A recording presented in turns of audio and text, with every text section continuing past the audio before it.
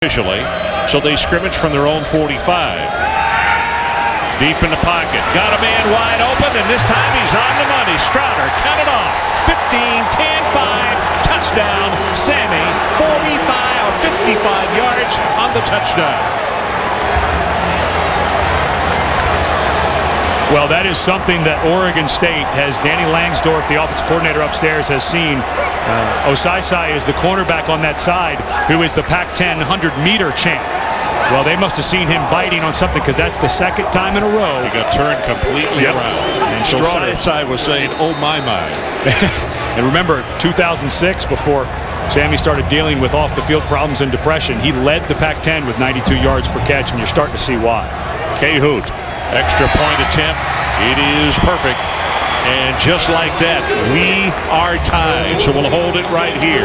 4.29 to play. Didn't take very long, did it? Yeah, that was a completely busted coverage. Osaisai turned Stroughter loose, and you could see him look back, and C.J. Easter, the safety, had come all the way down for run support.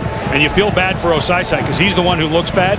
He totally expected safety help, and he was way too late getting over there. Easter just